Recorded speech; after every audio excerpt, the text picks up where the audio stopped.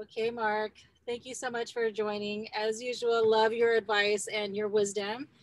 So, okay, so today's topic is how to deal, how do self-employed people deal with their finances or just planning? And also for like myself, for realtors out there that are listening, um, what do you do with your finances and how do you strategize?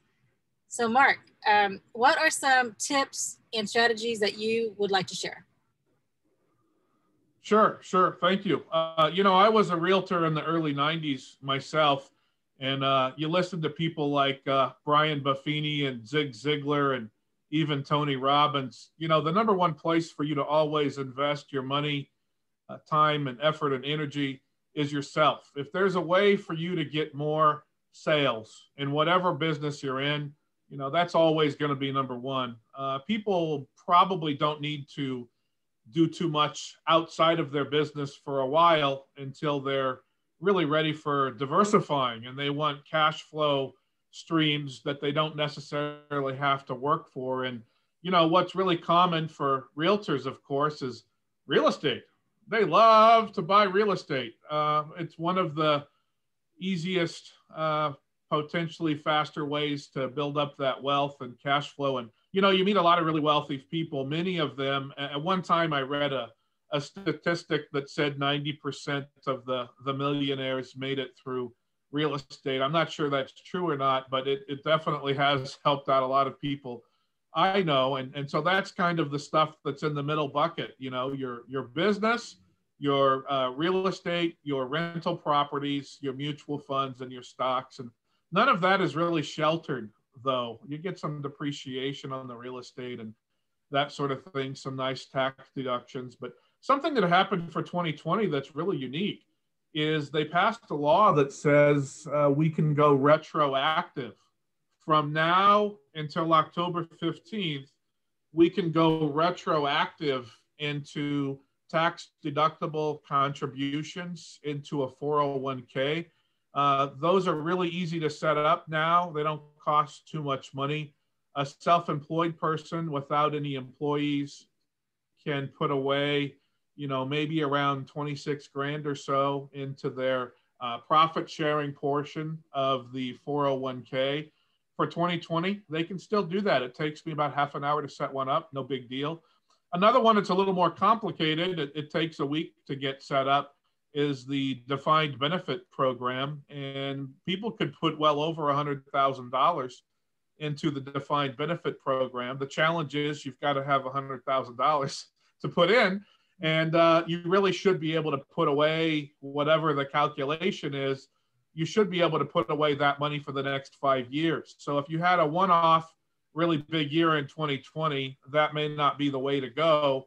But if you have other money that is unsheltered from taxes, if you will, that you could use to put into the defined benefit pension program, uh, you could consider that a, a, possibility where you might shift some other money or for some other assets in there. And especially for people that don't have a large amount of money that they have deducted yet. If they don't have a big SEP IRA or a big traditional IRA or a big 401k already, if they're over 50, this might be the time to start uh, putting some money in that first pre tax bucket that I call it uh, to get some tax deductions for 2020, especially if 2020 was a really big year. They might consider the 401k uh, at least. And then for this year, they could put away somewhere between fifty-nine and sixty-four thousand dollars, depending on their age, uh, pre-tax, if they want. So, uh, but you know, here again, this is for people that want to diversify. They don't want to triple down on their business. Uh, maybe they've got a subway franchise or two, or they have a, a carpet installation business, or they they sell some kind of product. They want to diversify away from their main business and get into some of those paper assets like stocks and bonds. But they can do self-directed as well. And a number of people have been able to accumulate enough money in their defined benefit program or their solo 401k where they could use an outside administrator like uh, Entrust in San Francisco, and they could go out and buy real estate. They can usually get a non recourse loan for 50% of the purchase value and the uh, down payment or the 50% uh, money would come from their 401k that's self-directed or their self-directed IRA or their self-directed defined benefit. And that's a way for some realtors to possibly get a client they may not have gotten before. Maybe these potential people have 2 million in their 401k uh, in the stock market. They've been burned by it a little bit. Maybe they should do self-directed for half of that, put a million in a self-directed account and use that money to buy $2 million worth of real estate. Okay, well, that would be a strategy to that's worth talking about for sure. Um, so, so just so from from a recap of what you said is, if someone hasn't done their taxes yet, and they want to use some write-offs and also invest in themselves to have some type of retirement startup. If you already haven't started to start, or if you have started to add to it, but you still have time. They still have time. Yeah, this usually these things have to be done in the prior year. Um, but the the Congress passed a new law saying that the employer contributions to retirement plans, uh, which used to mean only the SEP IRA, but now they have included the employer contribution for the 401k and the defined benefit program. So we have until October 15th to fund it, but don't call me on October 15th. If you want to do something like this, you better start doing it today so you get comfortable with it.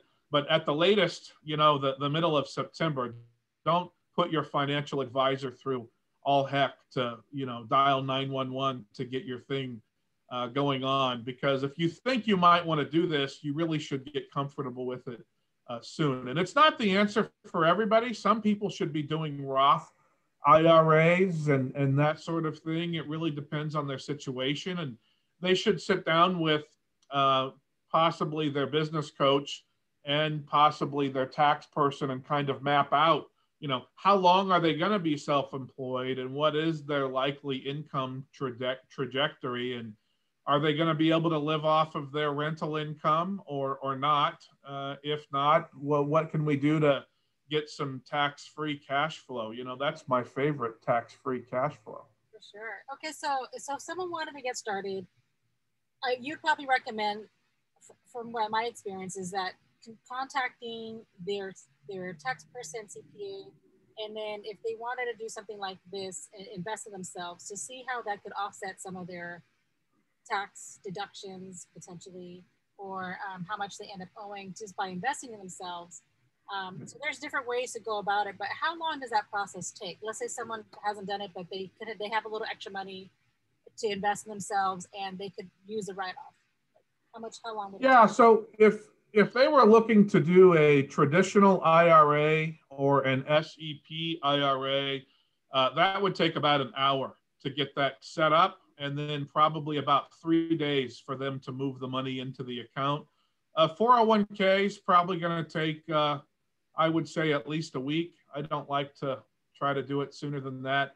And a defined benefit program is usually going to take at least two weeks to get that set up and, and funded because that's going to require a third party administrator and an actuary and, and that sort of stuff. But, you know, uh, they should start looking into it now. They might decide it's not worth it to do it for 2020, but we could start funding 2021 uh, right now. You know, I had a mortgage person in uh, January of this year.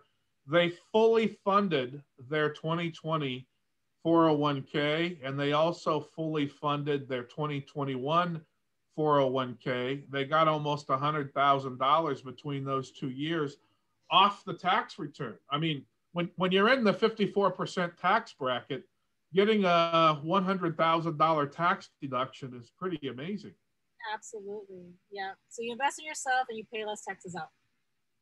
Yeah. And you know, some people get bit get get worried about what are they going to invest in? And and I would normally tell people during tax season just get the account first of all, get comfortable with what you're going to do, what the strategy is get the account funded, you don't have to buy an investment right away. We just have to get the receipt that the money is in there. It could be in cash for a month or two, until you're comfortable. You know, the stock market just hit an all-time high uh, last week. You know, for the for the Dow Jones. Maybe you don't want to put it all in the stock market uh, right now. That's okay. There's some other boring investments that you might choose, uh, but you've got to satisfy the IRS and you've got to get the account open and funded in order to qualify for the deduction.